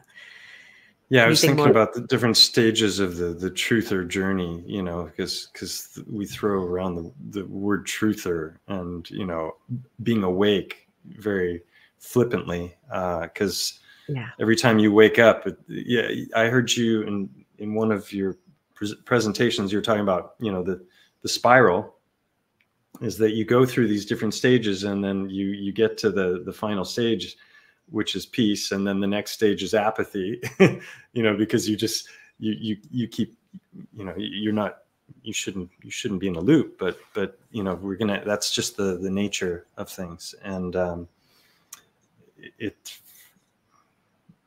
i forgot what i was what i was going to say about it but um that's okay. We started on the text yeah yeah the yeah that's all right that's okay. there you go. We'll leave that one open ended, and and yeah, that spiral. It's it's a really good thing because what you're talking about, the heart, is it's like two spirals going right. The mm. the band. Yeah, and you've got the, the the the red and the blue, which is the you know the opposition, and uh, and those are uniting in in a singularity. Is is from what I can tell is that you know once it stops working, we stop working, and uh, you know that one of the things that's gone through since the very beginning of my channel um, to now is is there's been such a high degree of synchronicity when it comes to my investigations and things that have re revealed themselves to me and things that I've found and the timing of, of, of things lining up in ways that are just the odds would be astronomical. If there wasn't some kind of a hand at work or a providence or a little nudge like hey go in this direction uh, and that's that's accompanied every every point of this journey. And so that's where it really is kind of like a photojournalistic uh, bearing of the soul as i as i go through these these different questions and you know kind of doing it in in the public sphere. Um, one of the biggest synchronicities was that after i'd already made a bunch of the the videos on the mountain um, and then learned about the nature of the heart, which was utterly mind blowing for me. I um, found out after watching documentaries on this this cardiologist's life that that he lived and worked out of his home through his whole career, and his home was on the foothills of Montgó, this mountain that I had been investigating.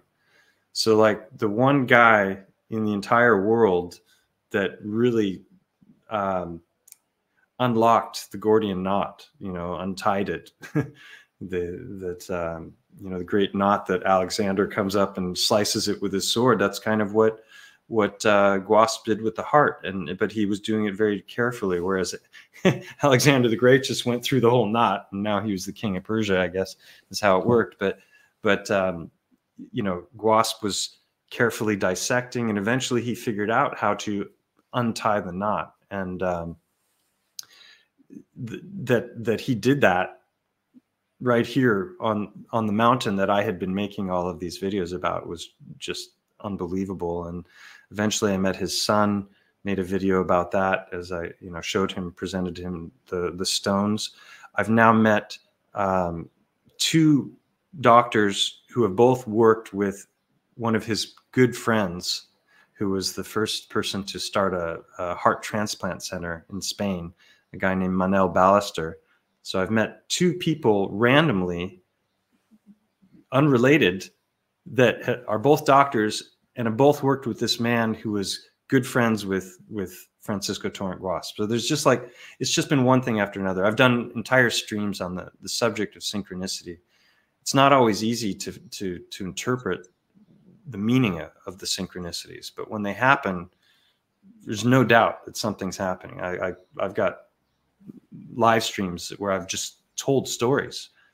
I think you know if if I were to sum up like my you know what do I see myself doing if I if I were to like right right right now I'm I'm in the what's that stage of the hero's journey? Refusal of the call. I've been I've had, I can help you with that. I've been you know I've had a lot going on both in my personal life and and uh, professionally and and then with this channel. And so uh, I work in fits and starts. I always have there's a there's a lot of mulling over and thinking and pondering and taking in information. And then then when i do something it, it you know it tends to go well and it happens pretty quickly but it's not a consistent effort so um, i think uh, there's if it wasn't for the synchronicities and it wasn't for all of these these taps on the shoulder that i've gotten i would have you know finished what i did and then walked away from the whole thing i'm mm-hmm. i'm very fickle in my in my mind when it comes to interests and I, I get really interested in things and passionate about them for a while and explore them and then i i don't master them because i'm I, i'm interested in something else that comes along so um, that's that's kind of what's happened uh, with this with this thing is that i've just i've been led to it and I don't exactly understand what it all means. And I don't even know which things I'm right about and which things I'm not. But I try and be as intellectually honest as possible and methodical in, in my approach to examining this stuff. And I think that's what people have appreciated about what I've done on the channel. Um, that I'm not trying to shove ideas down their throats and, and make lots of grandiose claims. I'm I'm saying, hey, this is this is what I've been looking at. This is what I found. You can decide for yourself if there's anything to it. Uh, just one last little thing with the heartstones is I had already been gathering a bunch of heartstones and making videos about them before I ever came across the work of of Guasp. And when when I saw this video documenting his life and he unraveled the heart and he rolled it back up, at the point where he rolls it up, there's these meeting points of the different fibers that go in different directions. And those are called sulcus lines. And when I saw that, I realized that many of the stones that I had gathered already had those lines, but I never realized that there was a uniformity to them, that there was a, a, a repeatability. And so I went out to, you know, I got I got the the stones and I started pulling them out of the closet and looking at them again. I'm like, holy shit, there's a these lines are in the right place and they're curving the right way. Like it was just one more like check off the box on that one. And then later I realized that that you could look at them from the bottom and you could see because I, I, I saw videos of, of the heart actually contracting and it does this little dance when it's contracting. And that the the stones they've got that on them as well. So it's just a you know and and and that led to all kinds of questions like how can this be and why would these be outside of the body and and and no trace of the body where how is this possible and i so that's that's led to all of these other questions and some some i've found answers to and others i'm like maybe someday we'll know mm-hmm, mm-hmm. yeah just on the uh, subject of synchronicity that it's uh, you know call it breadcrumbs from god right that's uh, we, we do need signs if you if you go along and and there's no magic of any kind. I don't like the word magic very much anymore, but uh, you know, there's no there's no spark there's no like oh wow i was just looking for that and then this whole thing came my way or oh three people sent me information on the same thing today or oh i met mike Wilker- wilkerson at several points and uh, oh look he's in spain and we're looking for speakers in in the in, uh, mm-hmm. in europe at least and uh, and so yeah those those synchronicities are are super beautiful and important and and they they seem to as if come and go and a, a lot of people will get attached to them like they they want that and they call it the flow state it, like it's a state of mind to be achieved. And i don't think it's like that. I think that um, you know in your in your co-partnership with god you are braving and risking the acceptance of the call rather than the refusal of the call. And it's the acceptance mm. of the call that brings in the synchronicities because you it's like walking off a plank sometimes i have had that exact vision where i am blind but i'm walking anyway. And and going okay god are you with me on on this one? I didn't can't see where i'm going at all. And then there's oh little little clue here little clue there. Some of the clues don't lead anywhere except to the knowledge that that's not the path. That's the synchronicity yeah, i was just going to say exactly that. Yeah. Yeah. I had a crazy yeah, uh, synchronicity with that was related to graham hancock uh, before i met alex and started contemplating that the world might not be what we were taught I was deep into you know the alternative theories that Hancock was promoting on you know Joe Rogan and in his books and and I this whole idea of the comet strike and the Younger Dryas and and all, all of these ideas that that I found very interesting and compelling. Um, and so he was coming out with a new book that I pre-ordered. It was the only time in my life that I ever pre-ordered a book, and um, and then some time later I came across a video of uh, it was about Tesla meeting um, Swami Vivekananda, and the two of them having like a, a pretty profound interaction that that uh, affected uh, Tesla in many ways because Vivekananda was bring, bringing this Vedic, you know, Hindu science and philosophy to the table, and that was lining up with all of the th things that Tesla was discovering on his own, apparently so I found this little video. It was like 10, 10 minutes long. And I thought, oh, this, this is something Graham Hancock would be really interested in, you know, and I had him on Facebook, but not as a private friend. He had like 5 million followers at that point. And so I, um, I just shot off the, the, the link and said, I, Hey, I think you might, you might like this as a, as a private message to him. And, um, some weeks later, I was seeing patients and, and the, um, I finished with one. The doorbell rang. Uh, I, I, buzzed in the person, and at the moment I buzzed in the person, I, I, I was checking my messages on Facebook, and I saw that I'd gotten a message from Graham Hancock, and I was like, "What?" so I so I clicked on the message uh, at, at, the same moment that I was buzzing in this this person, and uh, he was just thanking me. It was a very kind little message. oh, I really appreciated that. That was interesting, and that he took the time to you know send this personal message. I was like, I was really surprised by that. And uh, and so then I went up to go answer the door, and and I answered the door, and it was it was a, a guy bringing the Amazon delivery, uh, which was the book that I had pre-ordered like three or four months before that I'd oh, forgotten about. So at the at the same moment that I opened a private message from Graham Hancock, a, a human hand delivered his book to me at the exact same moment. Like, how do you how do you calculate something like that?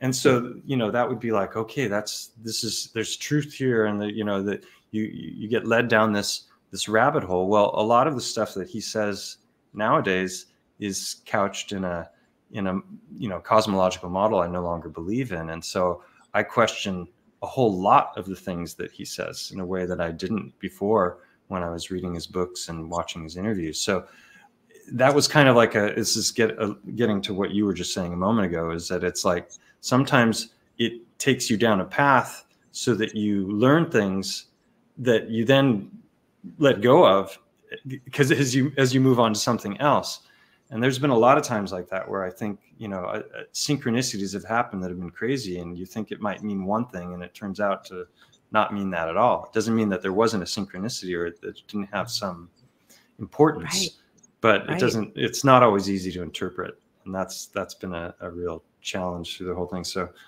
mm-hmm. you know there, but I, I do keep a journal of them and, and make note of them because I, I, I like that they happen because it's it's uh, outside of you know the use of psychedelics which I did in my youth it's the only real examples of supernaturality that I've that I've experienced in my life where you know it's like you just you can't even begin to calculate the odds on some of these things if anyone's curious about that i've got a stream called synchronicity stream and it's spelled s-t-r-e-e-m for the tree part because mm-hmm. a lot nice. of the synchronicities have happened uh, as I've as I've gone into these investigations about the trees and the mountain and the and the heartstones. And, uh, they're they're fun stories.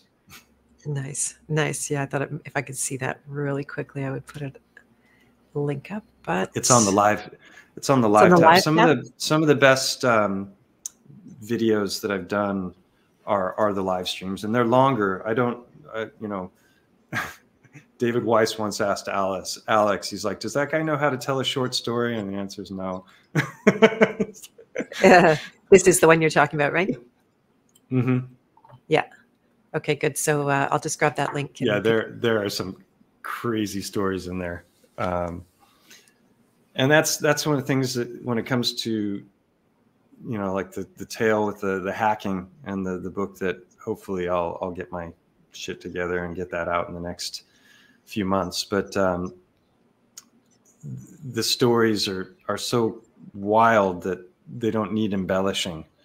You know, I mm-hmm. when I was in my teens and insecure, you I would I would exaggerate, you know, and pad the numbers and you know to to uh, make whatever I was saying more interesting. Mm-hmm. And and then by about 18 19 i didn't have to do that anymore because i the stories i had to tell were so bizarre already. And that's that's just continued to be the case. That's so fun. I love it. Yeah.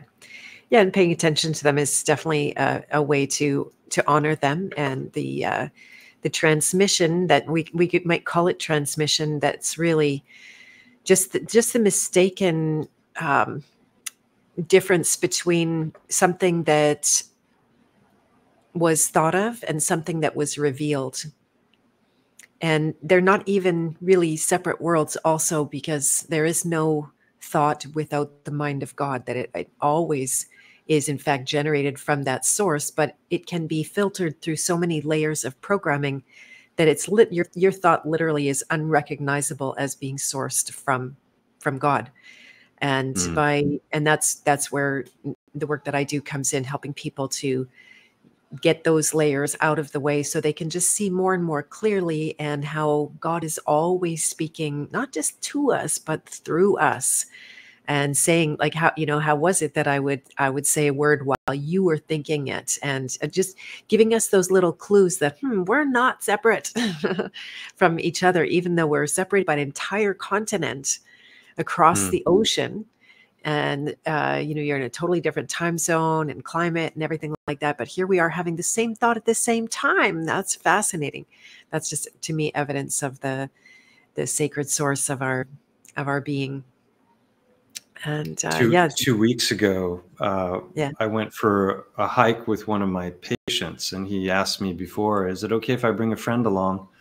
His friend was from bulgaria visiting and um, we started talking and at one point I mentioned that, oh, I have a friend who lives in Bulgaria, um, lives in the capital city, Sofia. And uh, we, we continued our hike. And then at the end of the, the hike, I was like, oh, I should introduce you to, to my friend. And uh, I said my friend's name. And he did a double take. He's, he's like, he's, he's a Dutch guy who lives in, who lives in Sofia. His name is Barrett.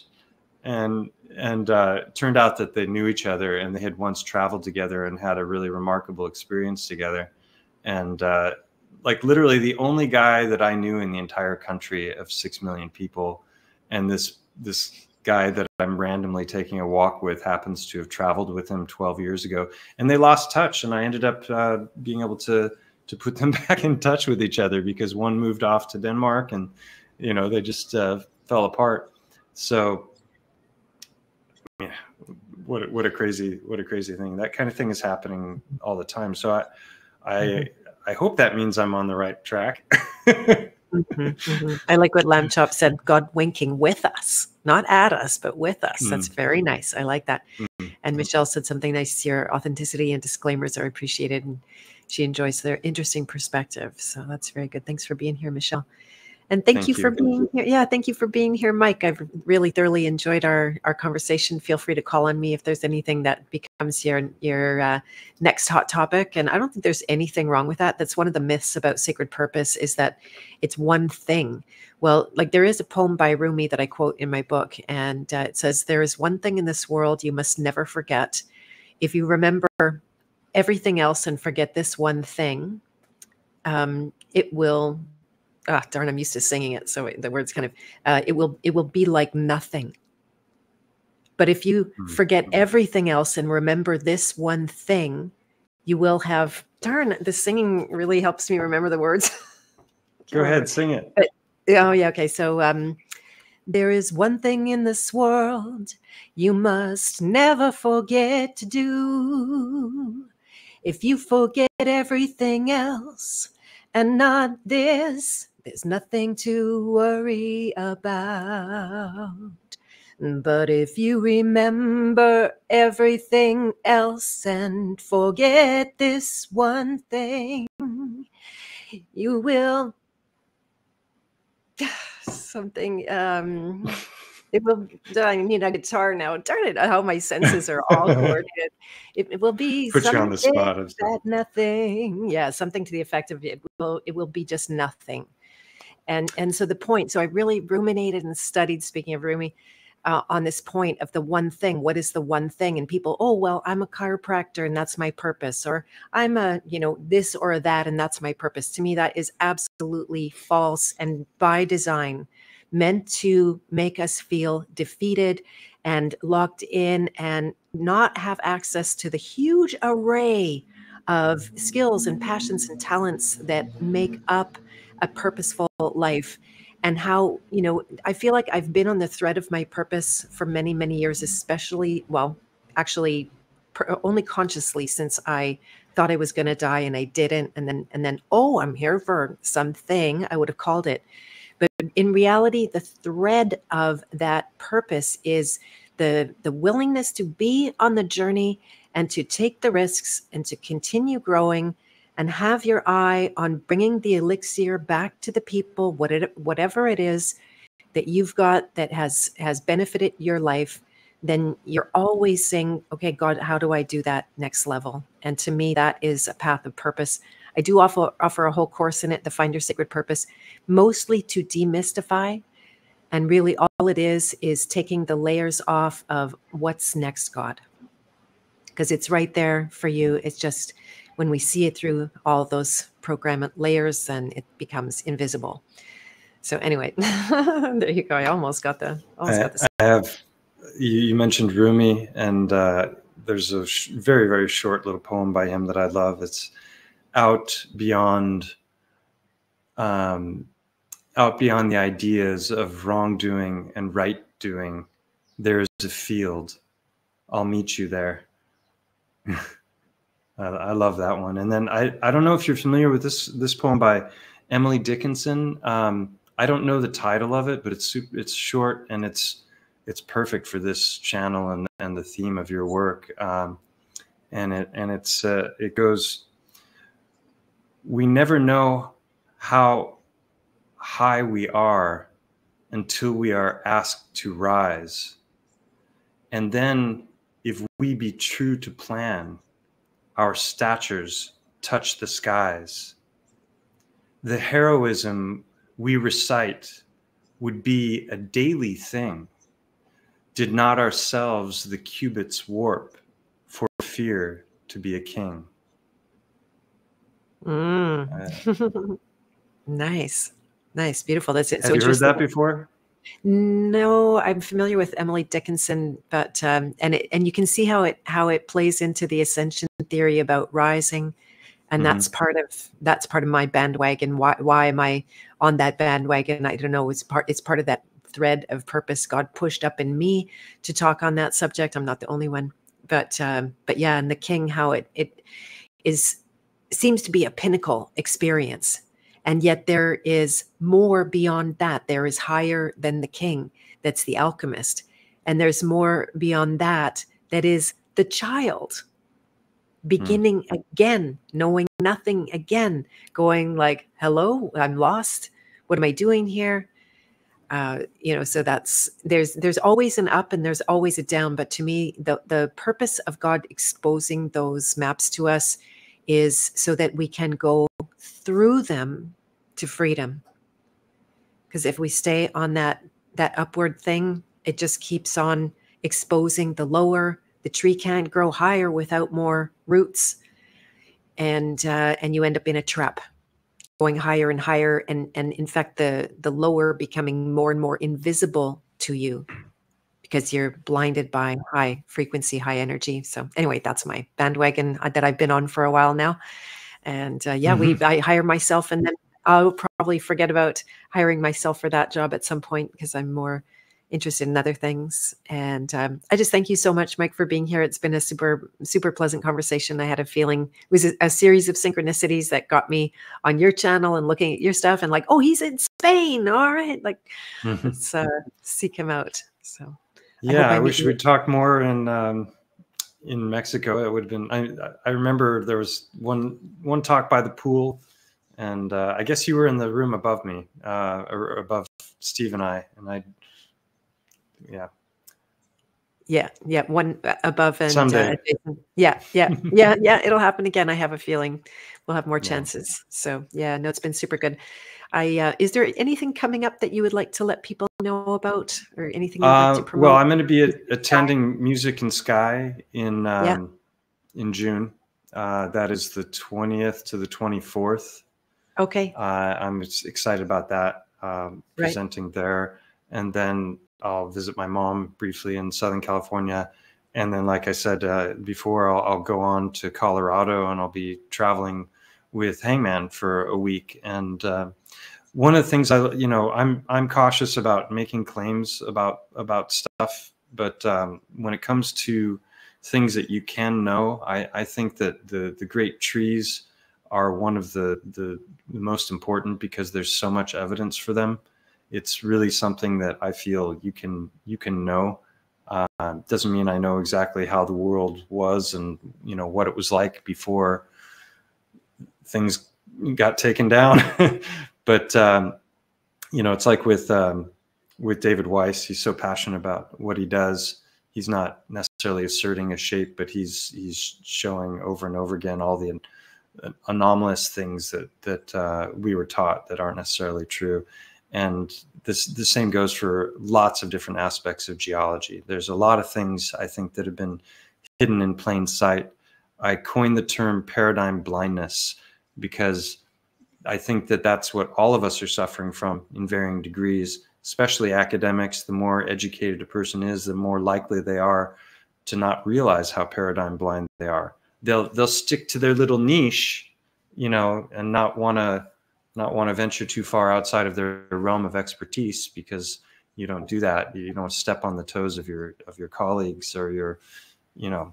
But um, ultimately, I think um, you know there's a there's a line that if they can get you asking the wrong questions, it doesn't matter what your answers are. And so when we're when we're blinded by our paradigm, our questions are are it, they don't matter because the foundations of, of the reality that we're believing in uh, might not be true.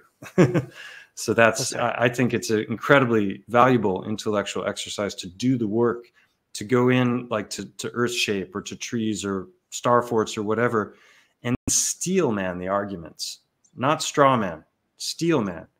Because if you don't give that idea its day in the sun and try and figure out what is the strongest argument for something and then debunk that, you haven't really debunked anything. And, uh, mm-hmm. you know, so this is what you see continually when it comes to earth shape or alternative geology or whatever. The, there are all kinds of claims being made and then then evidence can be presented uh, that goes against those claims and that's all hand wave dismissed because we've already figured this out long ago and tens of thousands of geologists couldn't couldn't possibly all be wrong could they you you just want to believe you're special you know that you you've figured something out that nobody else did. Well, it's not that nobody else did. It's that over the last hundred years, we've all been brainwashed to believe a certain set of, you know, what I consider lies about the nature of our reality. So, the you know, the paradigm blindness is is very real, and then you know that leads to cognitive dissonance. And I started one last little thing I started to say before is is there's a natural tendency as we're truthing to go into a proselytizing phase where you like you want to you want to shove it down the throats of of of everyone around you and force them to open their eyes and and I think that's a, a useless endeavor. Mm-hmm. it's uh, it's better to just um, you know ask questions and plant seeds and and uh, be gentle because we're all at different stages when it comes to awakening, and I don't think we ever fully awaken. Yes, indeed. And uh, so, yeah, no, it's, um, yeah, I think awakening is just different. It's one of those subjects that has been completely mucked up for us and, and entrapped us in, in many ways. So, mm. yeah, I think we're, yeah, all of those, all of those things were weaponized equally against us. No, no biases there. So I thank you so much, Mike. Uh, please, everyone, do join his channel. If you go and sub there, I know he said we were saying earlier how you go and uh, some days there's uh, two subs when you heard that many many people subscribed, and then you there's two two less. So you look and you refresh, and there's they're disappearing. Yeah. And no, my channel. I put out a lot of content the last the last year, and it's the growth has been pretty much at a standstill. So mm -hmm. I mm-hmm. touched a nerve, I think. Um, yeah. The, in the fifth Unveiling a Titan series, there I show the before and afters of editing on Google Earth, where where I was showing the eye and I was showing the the ear, and you know going in depth into both of those caves. And uh, one day I was in an interview and I was going to show this again, and it's it's all been blurred blurred out. So I have the before and after, and I show how it used to look on Google Earth and uh, how it looks now. So some there there are people that have been like, well, I was on the fence about this idea, but now now I'm convinced when they saw that because it was just so obvious. It, has been done by hand, and it's like, why just there of all the right. places, you know? So. Right, right. My sincere apologies. I, I do actually need to start wrapping up now. I know we have more to talk about and we'll probably have more opportunities as well. I want to make sure and let people know this will be a podcast. So in usually about 24 hours, you can catch it on Spotify or iTunes or anywhere if you'd like prefer to download a um, an audio. And I would encourage you also yesterday, I opened the door for the training that I'm going to be doing on Mike Wilkerson's current journey archetype called the nurturer. And this is specific to the nurturer's pendulum swing, where they go from having a almost Olympic will to help everybody. And uh, then they crash and they burn because they put themselves out too much. They deplete their own energy, don't take care of themselves one way or another. And they crash and say, Everybody get away. I'm never helping anybody again.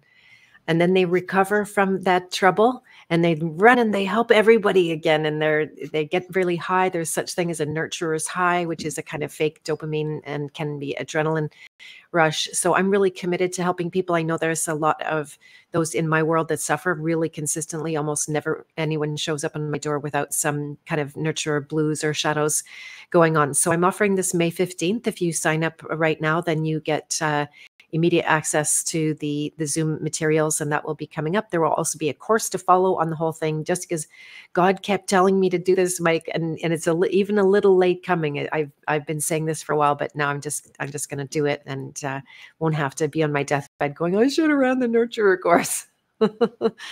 even if even just for myself yeah because i'm i'm a strong nurturer and i need to uh, remember these things on a daily basis myself boundaries are gold I've learned to to take more and more time for myself, you know, to be in nature and to to focus on you know, it's as a chiropractor, you've got to your body is your your means of helping people. So if you don't take care of it, you're, you know, you're screwed. so, I know I yeah. know it very, very well. So yeah, yeah, it might be an interesting training for you and some very unusual things, highly nuanced. You can think it's just, oh, people say just say no when somebody asks you, just say no. That is not the cure by any means. And I'm going to be teaching why that is. Hmm. All right, my dear. So I hope everybody has a beautiful rest of their day. And we've got a quite a jet going over, I think. yeah, I get mopeds going by here sometimes. Oh, mopeds, not a jet. Yeah. Okay. no, no jets, thankfully. Yeah. All right. All right. Well, God Wonderful talking with you. Thank you. You as well, Mike. Bye for now, everyone. Bye. Bye, everybody. Take care.